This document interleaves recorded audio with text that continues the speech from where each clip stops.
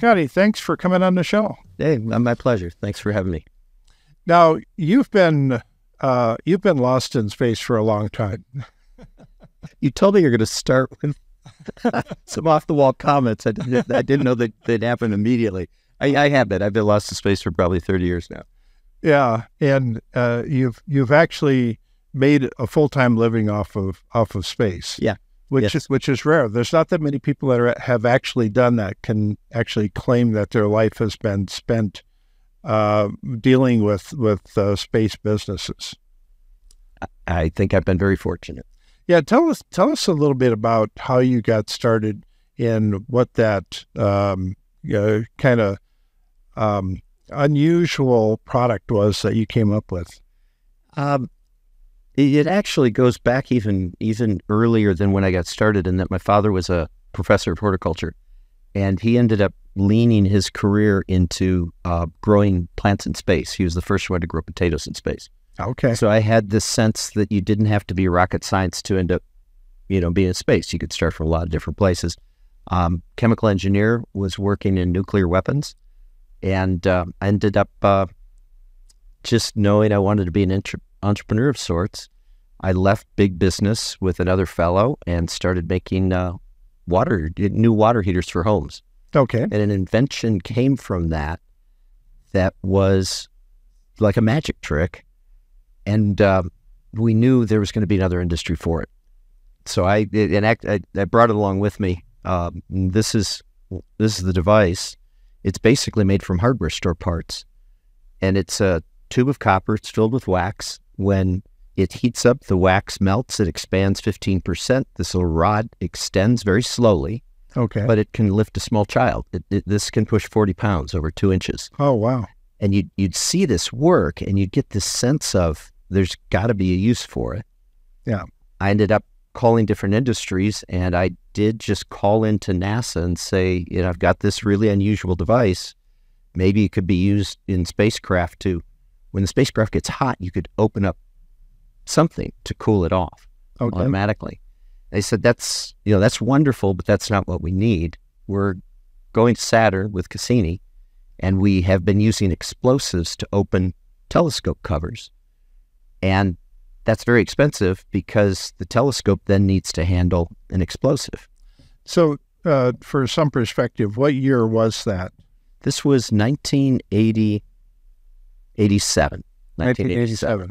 Okay. Challenger had just blown up about three years before. Ah, yes. And uh, NASA was kind of, what are we going to do next? But the interplanetary missions were solid, and that's what I was involved in with Cassini. Okay. And so your device then made it onto the Cassini uh, spacecraft. Yep.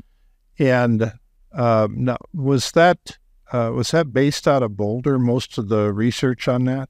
It was, um, yeah, I've, I'd been living in Boulder because I wanted to ski and be an engineer, and that was a great place to do it. Mork and Mindy had just been on TV, and it you know Okay. sounded great. So I was in Boulder, and uh, yeah, that's where everything kind of happened in a garage in Boulder is where we got started. Okay. So no ski slopes on Mars or the Moon yet. So yeah, something local. that was that was kind of it. yeah. And uh, and then how did you go about pricing this thing? Well, um, the the interesting thing, and you know, just prior to that is, I had an, a picture of this thing opening, you know, the windows, so to speak. But NASA actually, you know, it said put a heater on it, and you put a heater on it, and then we'll open these covers. What I didn't realize is that we were saving them maybe hundred thousand dollars every time they used one of these because the telescope didn't need to be qualified for that. Okay. So we called them up and called up NASA when we got the first order and said, how much should we charge? And they said, oh, about $5,000. Okay. So that seemed like far more money than we should be asking for. Okay. But if NASA says, Okay. so we, uh, the first order for these, for three of them, uh, we charged $15,187 because we figured with those significant digits, they'd figure we'd done a very accurate costing Okay. and we weren't going to make too much money. Okay. So that was what these started costing just from that arbitrary, kind of arbitrary number. And that was the price that you put on them in McGuckin's hardware too. We didn't tell McGuckins that we went and bought our little car, our uh, copper tubes for seven dollars, and then filled them with wax and sold them for five thousand. That's kind of what it boiled down to. but you know, the interesting thing, Tom, is uh, we found out we left a lot of money on the table, and those Yeah. those devices now there's probably oh five thousand of them that have been used on spacecraft, Okay. and they now sell for a little over twenty thousand dollars, Wow. Yeah. And we're still saving NASA a lot of money. Yeah. Well, that's terrific. Um, this is one of those uh, unusual success stories. Then tell uh, tell us how the company evolved from there. We um, we were ridiculously innocent and naive, and that worked Okay. in our advantage. Okay. Uh, NASA would come back or space companies and say, well, if you make that little device, could you maybe make the cover for the telescope? And just the fact that they were asking us let us believe that we could. Okay. And then we'd say, sure, we'll, we'll make a cover for you. But then you're committed. You know, Right, right. i- i- As an entrepreneur, we're like, okay, we have got to figure out how to do this. And we did. And then they came to us and said, how about a docking system? Okay. And we did okay. and then large deployables the size of a football field. And um, we just kept marching up the ladder of more complexity, just from a belief that, well, if they're asking us, then we must be able to. And then we pulled it off. It was surprising to us. well, if they asked you, you felt they had faith in you. Yeah. And, and um, yeah, that seemed like a logical relationship then to just continue to build on. Um, and then uh, how how many people did you get to? How big a company did this evolve into? We um, we started with me and Daryl in a garage, and we got to about fifty people. We start. We got to fifty, and we realized that there's only so much. Uh, honestly, just so much wax you can put on a spacecraft. I mean, I mean, we we'd saturated the market with wax, Okay. and so we went and found a motor company that made like you know motors that you and I are familiar with, and Yeah. they sold to us. And once we had a technology that wasn't limited, motors can do anything. Then then it exploded for us. Everybody came to us, How? and we became uh, victims of our own success. Almost, we took everything on. We were growing at forty percent a year. Uh, we grew to about 150 people. Uh, became one of the world's leading suppliers of motors and spacecraft Wow. you know, a weird thing for some ski bum chemical engineer to 15 years later Right. that position. And then we then we ended up selling um, to what became Sierra Nevada Corporation, Okay. and we were the core of 150 people that then grew to become what's now a, a multi-thousand person company Okay. making uh, replacements for the space shuttle. A very cool thing called Dream Chaser, far beyond anything I could Right. conceive of or manage. But I am very proud of being part of the you know start of it. Hello, this is Trent Fowler, co host of the Futurati podcast. One of the most common pieces of marketing advice I've come across is to know your audience and give them what they want. One difficulty in podcasting is that it's actually pretty hard to do this. None of the major platforms give us any way to reach out to you, our listeners, to find out what you enjoy about the Futurati podcast and what you'd like to see done differently. So we've decided to record this commercial and ask you directly to reach out to us. Head over to futuratipodcast.com, go to the contact page, and drop us a line. Tell us about your favorite and least favorite episodes, what you'd like to see us cover in the future, and anything else you want us to know. We produce this show for you, and we want your advice so we can make it even better. Thank you. Well, this this I think um, kind of paints an interesting picture of what lots of entrepreneurs uh, they start off with something that's relatively manageable and interesting, and Very and then point. it evolves from there. Yeah. and uh, it, it starts in a place that you just never imagined you would ever start from. Um, That's very true. and so, after selling out to Sierra Nevada, um, then what did you do? You went on a, a 400 day cruise around the world four times. No, I, I, I, I didn't go down that path of buying the house in Maui and uh, Okay. the Ferrari or any of that stuff. I, I, I was still, you know, fascinated by space. And so, uh, with the help of uh, Jared Polis, actually, Okay. who was who was then a new congressman, Okay. he helped us get funding, and in partnership with Sierra Nevada and University of Colorado, and uh, Mark Sirangelo, a, a visionary who was the one that actually bought, you know, our company. Uh, we started eSpace, the Center for Space Entrepreneurship. And with a couple million dollars, we then helped other companies follow on the same path. Okay. So we would get the mentorship in space and we'd make connections to them. And we, we incubated a half dozen companies, Okay. uh, one of which just recently sold for, um, I think, pretty much a third of a billion dollars. wow. So we gave them the first 20K Okay. and, uh, and a handful of wax. and a handful of wax and, and a little, hey, you know, go for it sign. Uh, and they, uh, they did well. So super proud of being able to catalyze in Colorado some of those companies. Okay. Is and so is that what you're still doing today? Uh, You're looking for those startups. interestingly enough, I am after a, a an interesting little. I it'll pivot into into dis, stopping distracted driving. Okay. So, uh, as an entrepreneur, you end up looking for big problems to solve. Right. Right. And I went to visit a vice president of a company I was going to maybe work for, and went through an intersection, and there was glass all over the intersection. Ah, somebody must have had an accident. I went in to see the fellow, Dave Super, the VP of engineering, and they said, Dave's not here. He was just killed in that intersection. Oh. Wow. And um, two hours ago by a texting driver. So that Oh, was man. 2008. And then that created this is going to be a big deal, and let's find the solution for it. Okay. Started working with Verizon, Sprint, American Family Insurance, uh, some telcos in Australia. Raised a lot of money down in Australia for this solution Okay. did that for about 13 years, 12 years. And then uh, as that moved on to the next level, circled back to your point Okay. into space and uh, working and helping other space entrepreneurs and space companies.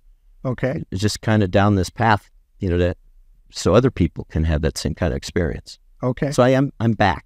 Okay. I'm back from, you know, 30 years ago. I'm back doing the same darn thing I was doing back then. It's just when you tried to get out, it pulled Yeah, you back. when I tried to go to Maui and I tried to buy the Ferrari, now here I am again, you know, doing the same old stuff. Yeah, that's uh, that's absolutely fascinating. So uh, you are you're actively looking for space entrepreneurs now. In Colorado, um, I end up, people know about Starsys. You know, Okay. people know the story. It's a good, I mean, it's a great story. It's a tube of wax that became a space company. And uh, so as as companies go through certain phases of growth, the network will connect them to me Okay. saying, "Hey, we're having trouble with how we do programs uh, uh, for a fixed price, or where do we get investment money, or how does a CEO handle the transitions as it goes from ten people to hundred people?" And so I'll come in and you know say, "Oh, you know, here's the mistakes I made that you don't need to make," Yeah. and I help them out. So I, I usually people find me rather than me going out and looking for them. Okay, okay. Um, now, as as you've been thinking through uh, the type of space companies that are um, kind of highest priority, and some of those that are nice to have, uh, how how's your thinking evolved on that? I I'm going to I'm going to paraphrase what I think you're saying in there, which is space is exploding now. You know, it's Yeah. it's it's a hot topic. Elon Musk has been huge in that. Um, and so now there's entrepreneurial space companies springing up everywhere. It's kind of a big deal. There really wasn't too much of that back in the day. They there's a lot of sizzle around it. Uh, right, right. you know, like, oh gosh, we can go back to, uh, you know, Bitcoin. We can go to cannabis. Um, you can go all the way back to Holland with tulips. Okay, You know, where all of a sudden there's a lot of excitement about here's a way to make a fortune. With that comes a preponderance of of things, some of which are going to make it, Yeah. and some of which aren't. Right. And it can be difficult to separate the wheat from the chaff, so to speak. right. And uh, as as one of the leading space financiers said about a year ago to a friend of mine, there's the entrepreneurial opportunities that are real, and the ones that aren't. Okay. And it's kind of like a one or a zero. okay. So let's say I want to uh, build a a gambling parlor in space that um, that uses uh, zero gravity roulette wheels, or I don't know something something very novel. No, I got it. No, Tom, I got it. Three dimensional roulette. because we're in we're you were in you know zero G. It can go in all kinds of directions. We're not limited to a circle. We're going to make a fortune. Don't Yeah. tell us. Oh wait, don't tell us soul. Yeah, But to your point, I'm sorry. yeah. Uh, so how much can I count on raising with that? Ah. There, I, I don't, I don't think that one's going to go well for you. Okay, Um, there's not enough sizzle to it, okay, but there are things that are like a, like a hotel in space. So I'm going to run this out just for a bit, if if that's okay. Yeah. But we'll run this out. There are probably, um, I don't know, uh, hundred thousand people in the world that would pay a million dollars to spend a week in Yeah. a hotel in space. That's a pretty big market. right. And so you can start to argue, let's see, if we did a hotel in space, we could, you know, here's the price it would cost to build it, here's the price it would cost to get people up to it. At the end of the day, if you really used a sharp pencil, you'd come to the conclusion of great idea, but two things will kill it. The cost of assembly of something that can handle that many people in space in a way that worked in a hotel. Okay, You're you're talking multiple billions yeah, just just you know making stuff up. And this is an interesting one. The cost to accelerate a human body to seventeen thousand miles an hour is expensive. okay, So it's not getting up to two hundred miles. That's not that hard. But you've got to get going seventeen thousand miles an hour in order to stay in orbit, and that takes a lot of fuel, and that is extraordinarily expensive. okay, So another way of saying it is you can build the Ritz Carlton, but if you do it in a place that costs hundred thousand dollars to get to, you're not going to get as many people. okay, But you could probably start making a business case around hotel and space and have it look kind of reasonable. It might work. okay, I'm not going to put money into that. I need something that looks like there is no possible way I'm not going to lose money. okay. And then it maybe has a chance of making money. That's just, you know, my point of view. Okay. Um, so what's what's another example of uh, a business in space, uh, like a manufacturing station in space, um, like a space laboratory? There's always people wanting to do space research. Yep. Um, um, I'm just trying. Well, I'll, I'll build on that a bit. Okay. Um, one of the top candidates right now for manufacturing in space is you're, you're in space, you have zero gravity, which allows crystal growth in a different way. Okay. So there actually are things from zero G that just cannot be done on Earth. And what people are positing is the idea that you can make a fiber optics of a clarity that's unmatched Ah. by doing it in zero gravity because of the nature of how crystals form.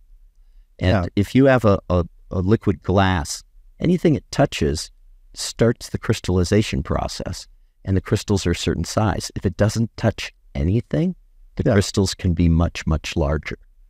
Yeah. So there is conceptually uh, one of the big potential uses for space manufacturing is is making very, very good um, fiber optics. Okay. And that's one of the best business cases out there that people are talking about, making it worth going up there and coming back again. So uh, I've actually spent a lot of time thinking about this idea of being first, and there's there's lots of people who want to be first around something, and so the space is like virgin territory. There's everybody that wants Yeah. to be first doing this or first doing that, and I'm going to give you a really uh, probably crazy example Yeah. here, but somebody's going to have the first child in space, and um, uh, interesting. Yeah. yeah, and so if if a child is born in a zero gravity environment, what happens to that kid? And uh, do do we have any clue at this point? So I'm going to make something up. But that, every once in a while, when somebody brings up a new concept, this is weird, but I get goosebumps. Okay, And I've, I've learned over the past 30 years that it means something. okay, It, it means that there's something, you know, there to what Right. brought up. Uh, but just making this up on the spot, uh, in in the the embryo in the amniotic fluid is for all practical purposes weightless. It's no different than why they put astronauts underwater in order to simulate waste, weight, weightlessness. Right. So the first order thinking about that is that the fetus development is going to be unchanged. okay, Now, having said that, there's probably second order things that that who would have thought come into play. Yeah. And uh, now, though, to your point, now that baby is not dealing with gravity after it's born. It has no sense of up or down. All those, and I'm just kind of con, you know contriving this, but all those things that are probably a part of the learning that the instant the baby comes out, they start doing. A whole bunch of those are gone. Okay. And so, to your point, there might be a very, very different sort of experience of what what happens with baby development. right. So, right. yeah, it's interesting. And then, yeah, then you think about, well, if that baby ever ends up on Earth, can it survive? Because suddenly the you have gravity to deal with, and uh, it's way different than any artificial gravity in space, or um, the the atmosphere is different. Uh, lot, lots of interesting questions surrounding that. It'd be extraordinarily hostile.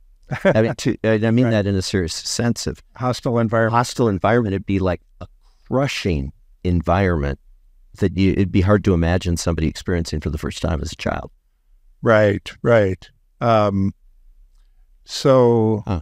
yeah, yeah. Is is if somebody tried that, would you be accused of child abuse or something? I don't know. There, there would, I'm sure, be seriously a lot of ethical questions, a lot of ethical questions about Right. how you'd, uh, you know, get the okay to do an experiment like that.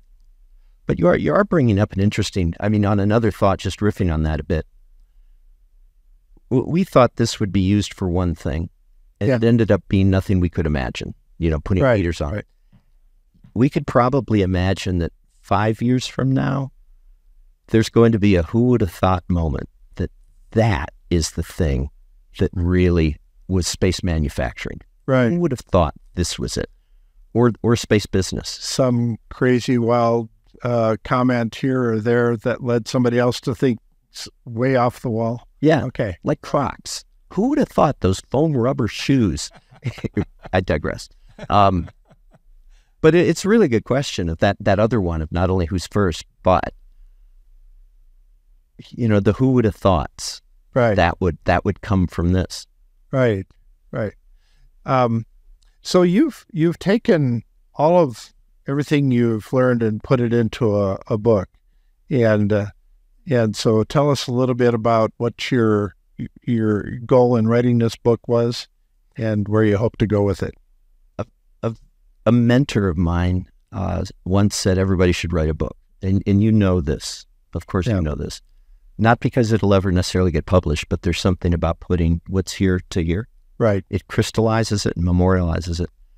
So I, uh, what what the manuscript is, what the book is, is from the garage to Mars: Adventures of a Space Entrepreneur, and Okay. so it's it's a good story, you know, starting from this uh, ski bum that creates a space company, and you know Right. we had 50 motors driving around the Mars surface, Yeah. and my kids' names are etched on those motors. Na- NASA doesn't know that. You know, we, we did it kind of surreptitiously. Um, it's a good story. And what you realize when you put that down is you also realize the themes that go through it that are trans- transferable Right. that that you know have broad application. And the two of them, and, and there's really two major themes all the way through. Um, one of them is is the power of fun, ah. and another way of saying it is the power of the F word. Okay. Um, Starsys was built on a culture within the company of play and fun. Okay. We we did all kinds of things that were way out of the box in terms of fun. Okay. and um, we don't have time to go into too much here. Uh, but I will. I, I will actually. Can I go into one? Do we have Oh, sure. that? Sure. So we are going to come back to this. But what happened? I'm going to kind of cut to the the chase in the story. Is uh, we probably had more fun than anybody else in the space biz. Okay. I, I think that's probably pretty close to true. We also had 3,000 mechanisms that flew on spacecraft with no failures, and that's unprecedented. And those two things are actually pretty well linked. ah. Um, so one of the one of the themes through the book and the reason for writing is to try to inculcate into corporate culture the idea that you know it, what's the opposite of this? That's why it's called work. It's not supposed to be fun. no, you know, I think of it a little differently. Are you enjoying this episode of the Futurati podcast? If so, please like it, give the show a five star rating on Apple Podcast, Spotify, or wherever you get your podcasts, and share it with your friends. By far, the best way to help us grow is to spread the word on social media, which will expose our content to more people and help us continue to bring you interviews with world leading experts in AI, quantum computing, cryptocurrencies, and so much more. Thank you in advance. Yeah, so that's one of the things, the themes I was using uh, for a long time. Uh, I was trying to bring fun back into the future. Because when I was a kid growing up, Yeah. I would see all of the covers of Popular Science magazine. I'd see the things coming out of Bell Labs. Just everything about the future seemed just magical and amazing. Yeah. And I couldn't wait for it to happen. And I, I, I wanted to somehow bring that back again because Hollywood has done a real hatchet job on turning everything, every science fiction movie into a dystopian uh, murder fest or something. And Very good tech- point. Very Technology, good point. Yeah. technology is always the bad guy, and uh, and then by the time you're done watching, you say, "Oh hell no! I don't ever want to. I don't know. But you want to go. I don't want tomorrow to show up because if you ask people today what they think about the future, it's all about shortages and disasters and disease and um, uh, global warming. Yeah. Just everything that could possibly go wrong is going to go wrong, like tomorrow. And uh, so I wanted to bring fun back into it, and because the this dystopian look at the future uh, has got to go. That is interesting. Um, just building on what you're saying, you know, we go back to you and I, uh, Star Trek, of course, which Right. still, oh my gosh, you know, Yeah. where no man has gone before. Yeah. You know, that, that, the wonder, the fun, the wonder. Right.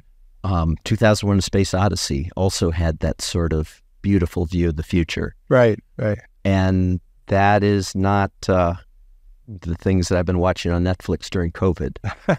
not at all. Yeah. I my the hopeful thought is it will have a natural cycle. You know, Yeah. that it will come back, that people get tired of that and looking for something different. Yeah. But I like that.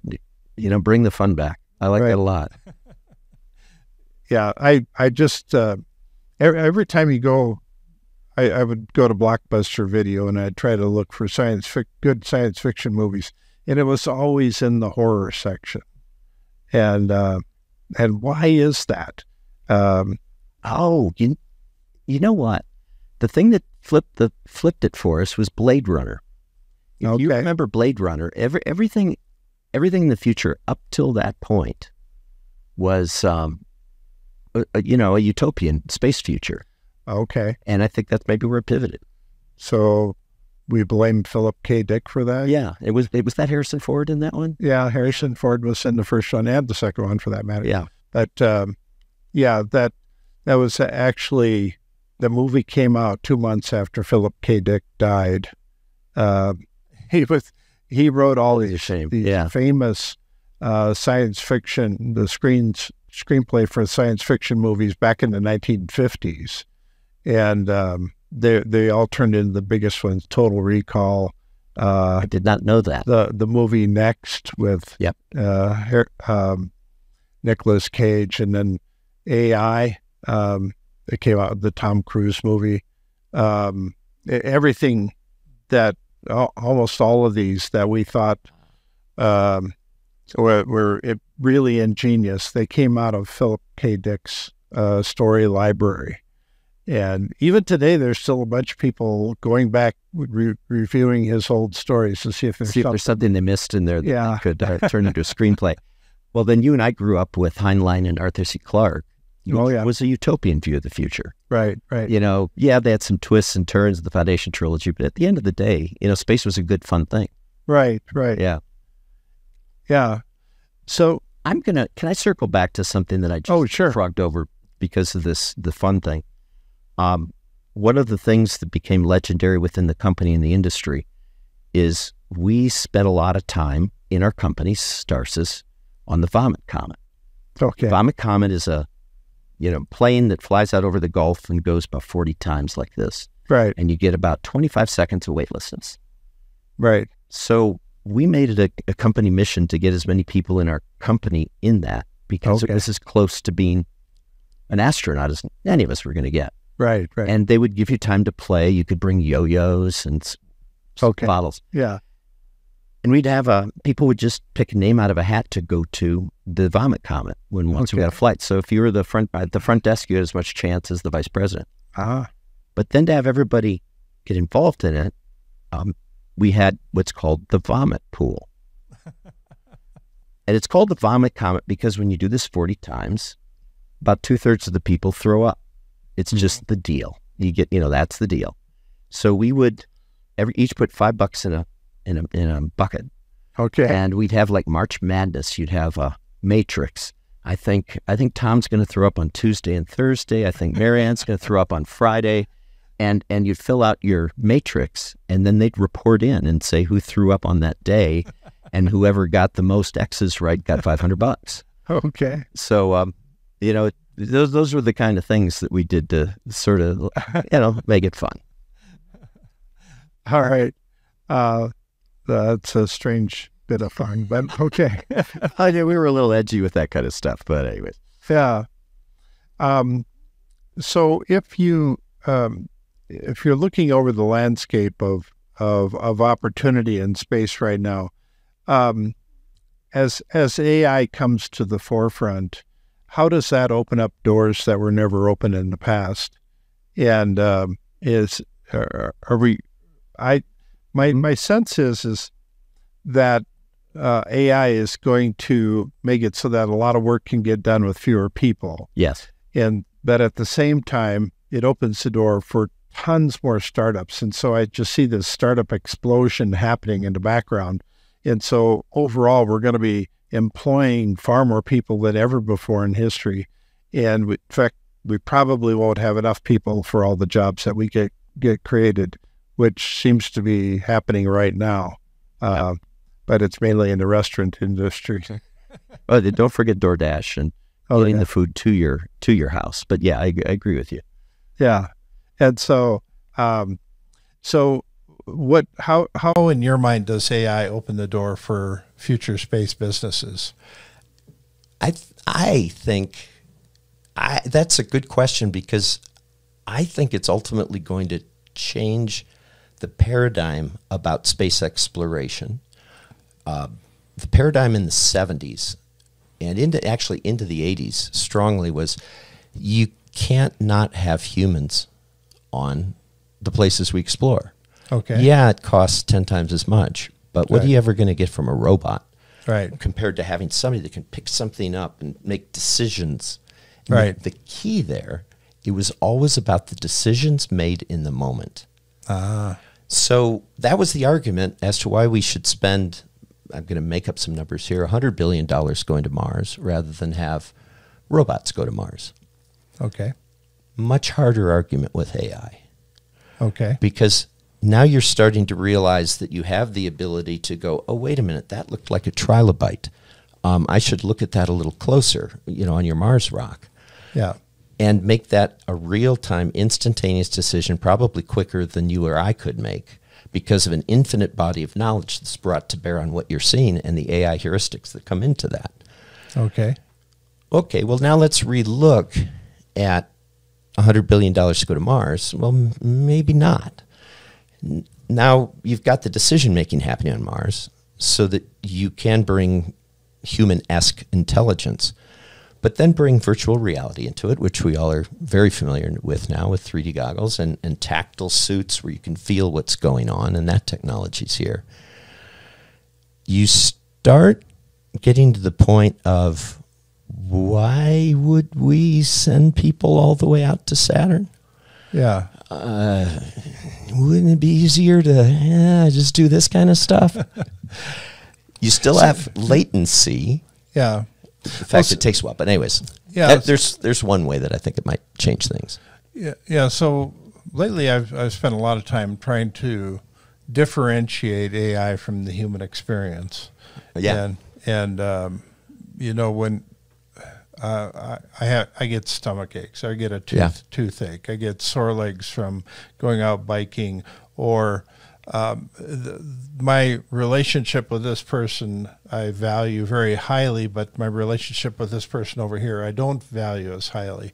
And so we, we create these emotional ties with everything around us, and AI doesn't have the ability to do that. And so when we when we think in terms of um, uh, how AI goes about assessing things and evaluating things, it's it's radically different than the way we as humans would experience it. That's well, just the just the word experience. Yeah. Is almost something that it's very hard to picture being a part of the AI vocabul- vocabulary. Yeah. The feel of it, the emotion of it, the the connection with it. Yeah. Uh, AI never gets an aha moment. that it, that well, it never AI never cries. Yeah. AI AI never um, never has an epiphany. Uh, no, no, it doesn't, does it? yeah. Huh. Yeah. So. What you're bringing, what you're doing is you're you're actually bringing two things to bear in the conversation, which are interesting. One is the you know the idea of inspiration. It doesn't have it. It doesn't have inspiration. Right. Right. That that millisecond where all of a sudden all the tumblers go into place, yeah. and and all of a sudden, aha, right. to your point. So it doesn't have that, but it also doesn't have this extraordinary human element of empathy and human yeah. connection, and this almost to me magical. Yeah. What what to me what defines humanity is empathy. Yeah. Yeah. Yeah. I don't think 20 years from now we'll be saying, "Oh, we came up with a robot that has empathy." Right. See, I, have always talked about uh, the value of having an epiphany, in that every every startup business has got started with an epiphany. Yeah. Every new product that gets created gets created with epiphany. So we're actually um, way better off having more epiphanies than ever before. And so I, I think of AI as a tool yeah. to help to help amplify our experience, to help amplify our capabilities and uh, uh, but it doesn't replace us. It works with us. Well, well, building on that, epiphanies seem to come from connection of disparate information in a way that things align and then the aha moment happens, combining this from way over here from way over there. And AI would give us a much larger data set to work from yeah. to be able to maybe make those connections. Right, right. And I mean, it's a hopeful thought for me that it'll always be the humans that are the ones that have the epiphanies. Right. Although you could argue, ah, it's just crunching numbers, and you know, you crunch enough numbers, and an epiphany will happen. I like your idea though better. Yeah, um, yeah. I, I just think that uh, uh, AI creativity is vastly different than human creativity and um, and, and so how you differentiate the two, I think, is, is super important.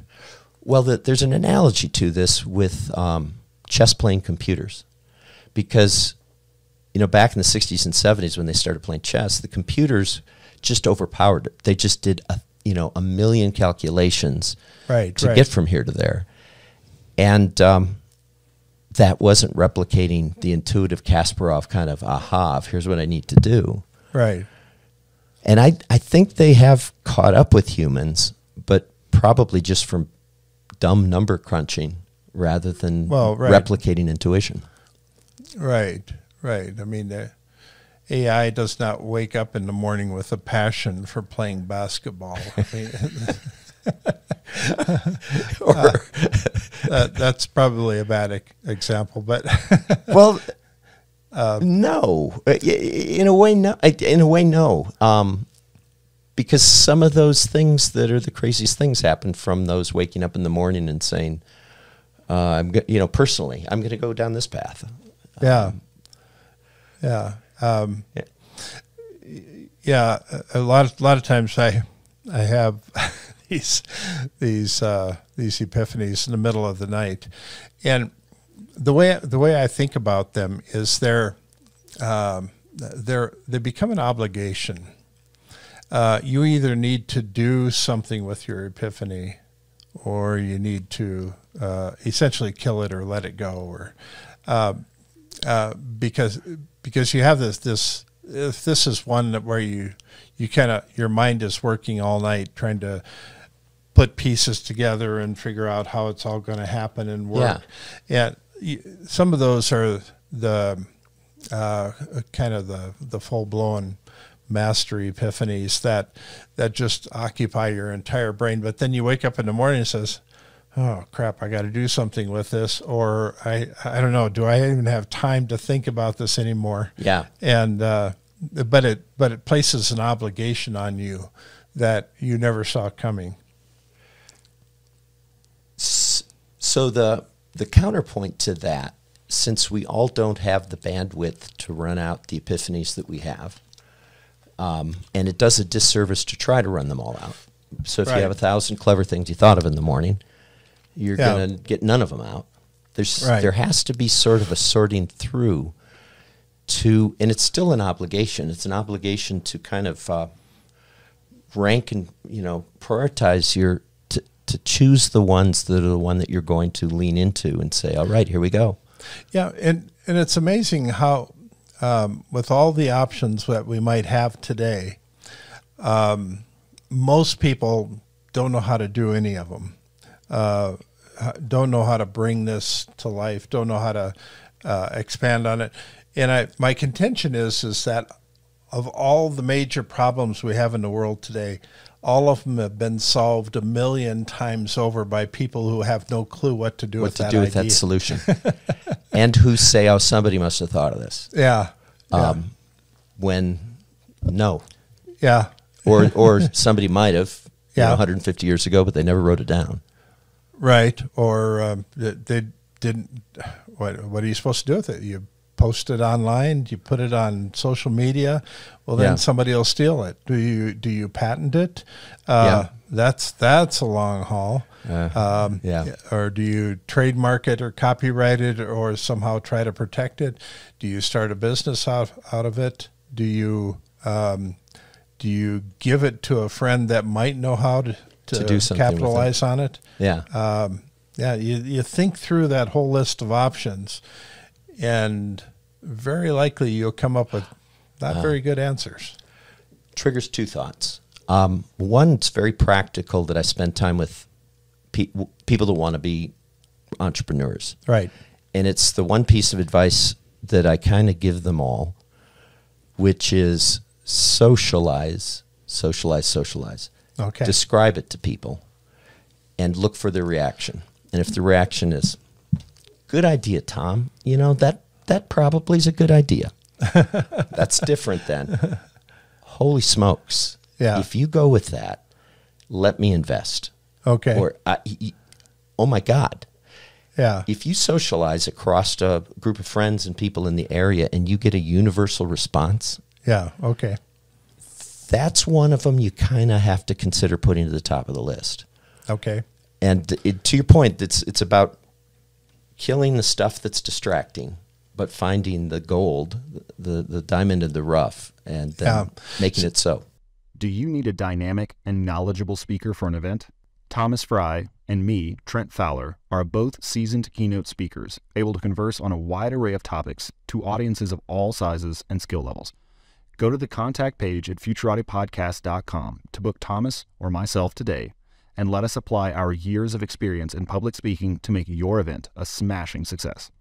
So when I'm um, giving a presentation and I'm uh, testing out new material, I, I try it on different people. Yeah. And what I what I find is that as I explain it, oh, five, six, ten times, I get much better at explaining Yes. it. And very and good sud- point. Yeah. suddenly I can explain it in sound bites rather Yep. than this uh, 42 sentences that I strung together and don't really make much sense Yeah, uh, and and then once you're able to to kind of crystallize it in this this right um, combination of words, then then it um, uh, I don't know it becomes um, uh, much more resilient and manageable, and and people um, gravitate towards it, and uh, so then I I get a good sense as to whether I'm on the right track or not. yeah.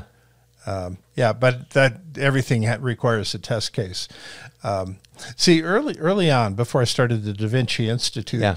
I. Um, uh, you know, I had this idea. I wanted to be a, a Thomas Edison like inventor, and boy, that's a rough lifestyle. And and then um, and I had had this this dream in the middle of one night. And I, uh, the dream was is um, that if I didn't do anything with my epiphanies, that I was going to stop having them. And this is like a nightmare for me. Uh, it- it's just this revelation. An epiphany. it, it was an epiphany Right, about right. epiphanies.